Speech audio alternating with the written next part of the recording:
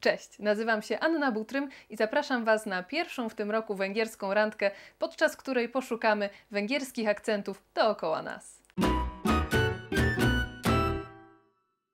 Początek roku to czas składania przyrzeczeń, czasami bardzo ambitnych. Myślę, że można się wtedy wzorować na wielkich osobach i wielkich osiągnięciach, i na takich właśnie dzisiaj wielkich węgierskich postaciach i osiągnięciach będziemy się wzorować, będziemy podpatrywać, cóż oni takiego zrobili, czym zapisali się na kartach historii i co więcej, co możemy odnaleźć w naszym codziennym otoczeniu. Myślę, że większość z Was ogląda mnie teraz na komputerze, a nie mielibyśmy tej możliwości, gdyby nie Janusz Neumann, który w 1944 roku właśnie wymyślił komputer. Na tym komputerze bardzo często i bardzo wielu z nas operuje na pliku Excel. Ten Excel to też jest węgierski wynalazek, więc myślę, że to może być dla wielu osób wielkie zaskoczenie, że coś, czego używają na co dzień w swojej pracy, chociażby biurowej, tak naprawdę ma węgierskie pochodzenie. No ale czasami chcemy się oderwać, chcemy popracować na kartce papieru albo zapisać coś bardziej osobistego i bierzemy wtedy do ręki długopis. No moi drodzy, długopis to dzieło Laszlo Biro, zresztą od nazwiska swojego twórcy często ten długopis tak właśnie bywa nazywany. No i myślę, że niewielu z nas mogłoby sobie wyobrazić świat bez długopisów. A ci, którzy mają problem z ostrością widzenia, często podczas takich prac biurowych sięgają po miękkie sączewki kontaktowe. No, warto tutaj pamiętać, że ten komfort też zapewnił nam Węgier. No ale nie samym komputerem żyje człowiek. W pewnym momencie możemy zgłodnieć albo chcieć się napić czegoś zimnego. Podchodzimy do lodówki i no i nie mamy tam tego napisanego, ale lodówka też jest węgierskim wynalazkiem. A jeżeli wyjmiemy z niej na przykład schłodzoną wodę sodową, świetną do węgierskiego szprycera, czyli frycza, o którym Wam wspominałam w odcinku o węgierskich winach, to też powinniśmy sobie przypomnieć, że tę wodę sodową opatentował Aniusz Jedlik czyli węgierski wynalazca. Możemy też chcieć lekko zmodyfikować smak tej wody, wrzucając na przykład rozpuszczalną tabletkę, dajmy na to witaminy C. Jeżeli pijemy taki nasz e, nowy napój, to pamiętajmy, że tę witaminę C i świadomość, że w ogóle coś takiego istnieje, zawdzięczamy Węgrowi Albertowi Saint-Giurgiemu. No ale może się okazać, że chcemy się napić czegoś ciepłego, a może chcemy podgrzać jakiś posiłek i jeżeli mamy kuchenkę starszego typu, to pewnie do jej zapalenia użyjemy zapałek. No zapałki to też węgierski wynalazek i to najstarszy w dzisiejszym e, naszym zestawieniu, bo pochodzący z 1836 roku. Te wszystkie przedmioty, o których przed chwilą mówiłam, znajdziemy w domu, Powiedziałabym, że w większości naszych domów, ale może się okazać, że chcemy się z tego domu ruszyć, może na jakąś większą odległość, no i wtedy wykorzystamy jakiś środek lokomocji. Jeżeli zainspirujemy się wywiadem, jakiego udzieliła niedawno najbogatsza Polka, to może będziemy chcieli się na tę odległość przemieścić helikopterem. Jeżeli to będzie nasz wybór, to pamiętajmy, że nigdzie byśmy helikopterem nie polecieli, gdyby nie pewien Węgier, który wpadł właśnie na taki pomysł. No ale może się okazać, że na przykład nie przepadamy za lataniem, wolelibyśmy gdzieś pojechać. Możemy w tym celu wybrać lokomotywę elektryczną, wynalazek węgierski, albo autobus przegubowy, wynalazek trzech Węgrów. Tu warto wspomnieć, że wręcz ikoniczne już e, Ikarusy to autobusy produkowane na Węgrzech. Myślę, że część z Was może jeszcze te autobusy pamiętać. To naprawdę jest e, no, duży wkład Węgier w nasz rodzimy już potem transport. No, ale możemy chcieć też wybrać zupełnie inny środek transportu i przemieścić się gdzieś po prostu samochodem. Jeżeli wybierzemy samochód z automatyczną skrzynią biegów, to pamiętajmy, że zawdzięczamy ją Laszlo Biro, który wymyślił nie tylko ten poprzednio wspomniany długopis, ale właśnie i te skrzynie biegów. A jeżeli wybierzemy opcję najbardziej ekonomiczną i ekologiczną, czyli będziemy gdzieś się wybierać rowerem, no to miejmy na uwadze, że Dynamo stworzył dla nas Aniusz Jedlik, tak, ten sam, który wymyślił i wodę sodową. Jeżeli już polecieliśmy albo pojechaliśmy w siną dal tym naszym helikopterem i karusem, albo lokomotywą chociażby, może się okazać, że będziemy mieli takie przeżycia, którymi będziemy się chcieli z innymi podzielić.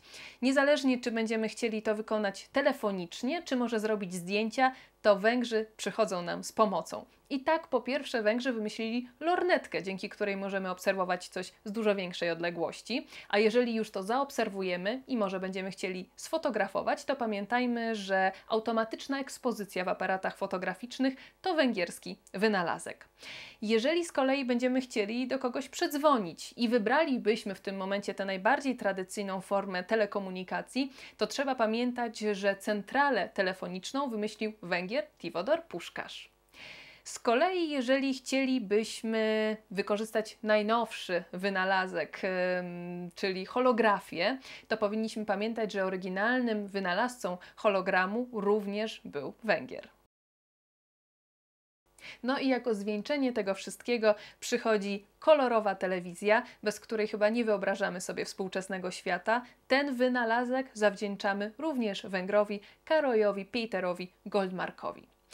Nie przedstawiłam Wam wszystkich węgierskich wynalazków, bo jest ich mnóstwo. Chciałam dzisiaj się skupić na tych, e, z którymi mamy raczej kontakt na co dzień, albo we własnym domu, albo kiedy właśnie wychodzimy z niego i możemy się z tymi rzeczami, no, dość łatwo spotkać, no może za wyjątkiem tego helikoptera, ale jeżeli chcecie wiedzieć, jakie jeszcze są węgierskie wynalazki i zobaczyć je w trochę bardziej graficznej formie, to zostańcie ze mną do końca tego odcinka. Opowiadam Wam dzisiaj o tych niezwykłych Węgrach i ich wynalazkach, które w swoim czasie zrobiły furorę, teraz są dla nas już wręcz nieodzowne. No i z tymi wynalazkami, z tą pomysłowością związana jest dzisiejsza lektura, którą chcę Wam polecić. 14-karatowe auto duetu Jenny Rejty i Pal Korczmarosz e, to komiks z lekką patyną. To komiks, który bazuje na powieści Jenny Rejty e, o bardzo specyficznej formie powieści przygodowej w dawnym stylu, w której bohater przeżywa niezliczone przygody, a sam pisarz, autor dystansuje się z lekka do tej swojej postaci i traktuje ją z lekką ironią. Jest to komiks na podstawie powieści, która rozpoczyna się jak u Hitchcocka. Wielkim wydarzeniem główny bohater zdobywa Nagrodę Nobla. Jak i dlaczego? Przeczytajcie i przekonajcie się sami. Zdradzę Wam tylko, że potem się dzieje coraz więcej, a jedna przygoda goni drugą. Jeżeli lubicie takie opowieści dziwnej treści e, i z tym starym twistem, to bardzo Was zachęcam, żebyście wzięli do rąk 14-karatowe auto. To jest edycja odnowiona, więc myślę, że miłośnicy komiksów e, spojrzą na nią z wielką ciekawością, bo jest w środku przedstawiona też historia odnawiania tego właśnie komiksu. 14-karatowe auto to niezwykle wciągająca lektura, którą miałam przyjemność przełożyć dla Was na język polski.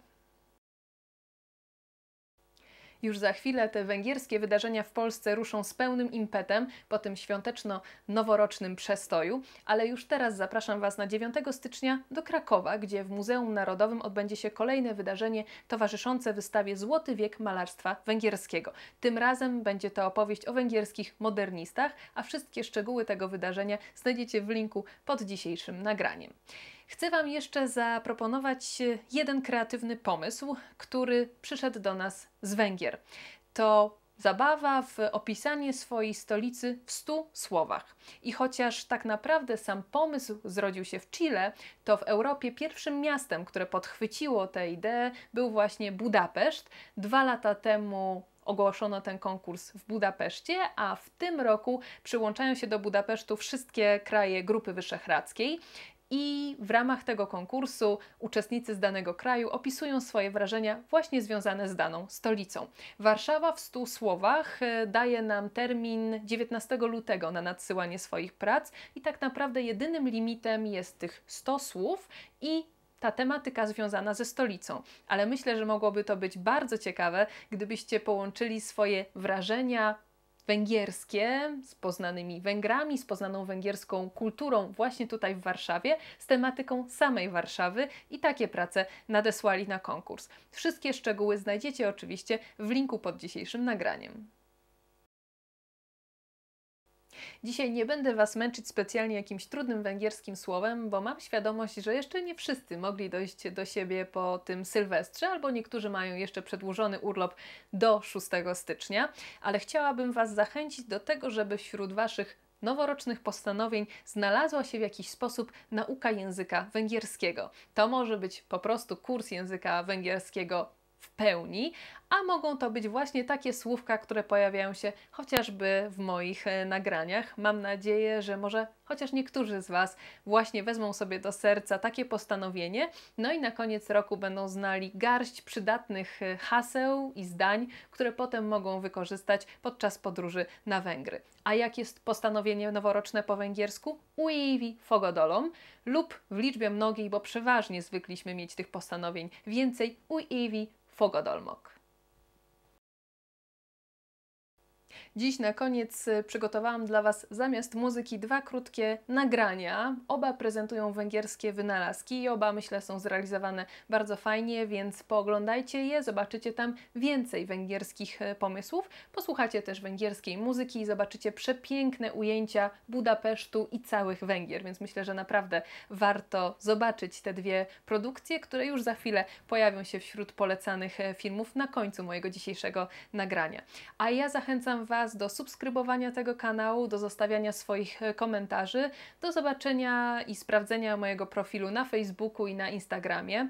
Wracam do Was e, już za tydzień i proszę nadsyłajcie swoje pomysły, nadsyłajcie swoje komentarze, bo czytam je i Jeden z pomysłów, który trafił do mnie na dniach, będzie realizowany już za kilka nagrań, więc e, naprawdę zależy mi na tym, żeby pokazywać Wam te tematy, które Was ciekawią. Życzę Wam miłego oglądania tych dwóch filmów i do zobaczenia już za tydzień.